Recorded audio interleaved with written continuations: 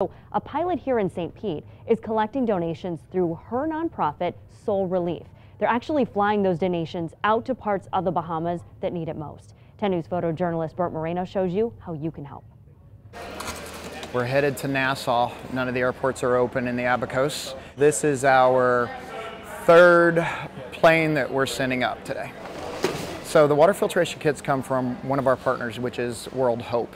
Um, some of the other supplies have been purchased through donations and then also donations of supplies. What are the two numbers on those last two?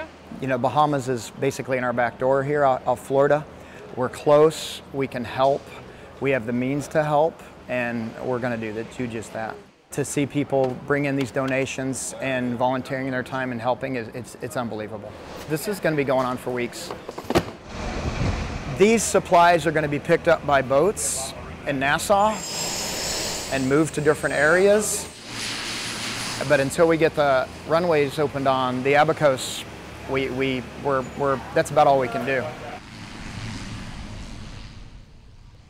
Now, one of those flights just got back. Right now, they're only dropping off supplies in Nassau, but eventually they'll take those food donations. The Bahamas will need all the help they can get. So we have a list of ways that you can donate at WTSP.com. And if you can donate, we're asking that you do. Our friends in the Bahamas do need